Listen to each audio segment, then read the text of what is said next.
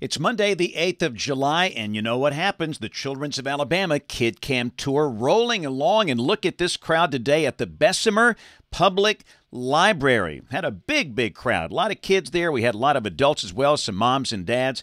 And we had a great, great time today talking about weather. And ooh, yes, we love cake in the summertime.